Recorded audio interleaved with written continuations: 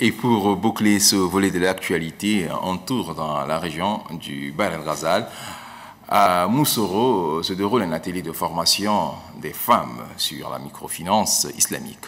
La cérémonie d'ouverture des travaux a été présidée par le ministre de la formation professionnelle et des de la promotion des métiers, Adoum Dangay Nokour.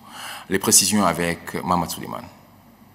Les jeunes femmes de la ville de Moussoro, à l'école des savoirs, près de 70 femmes bénéficient de la formation sur la microfinance islamique organisée par le projet de microfinance au Tchad Promofit. Outre la microfinance, ces femmes aborderont des sujets liés à l'éducation et à la gestion des microcrédits. C'est le ministre de la formation professionnelle et de la promotion des métiers, Adoum Tangay Nkourguet, qui a effectué le déplacement de Moussoro pour procéder au lancement officiel de ces assises. Après leur formation, ces femmes bénéficieront des crédits qui seront octroyés par un partenaire au développement sur financement du gouvernement tchadien et la Banque islamique de développement.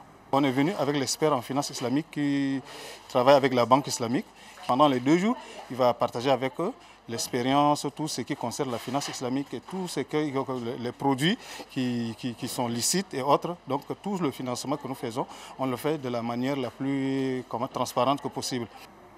Au nom de la population, le maire de la commune de Moussoro, Issa Abdraman Tchungouli, a exprimé sa gratitude à l'endroit des plus hautes autorités du pays. Selon le maire, cette initiative s'inscrit dans les cadres de développement socio-économique et promet l'autonomisation de la femme. Avis toutes sont partagés par le gouverneur de la région de Bar el-Ghazal, Tahir Barkay Mbodou.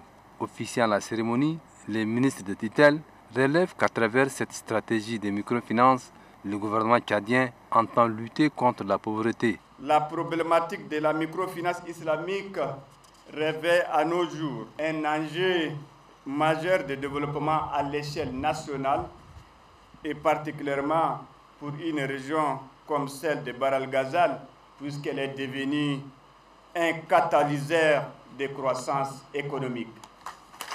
Cette formation au profit des femmes de la région de Bar el Ghazel s'inscrit dans la deuxième phase du projet de microcrédit au Tchad.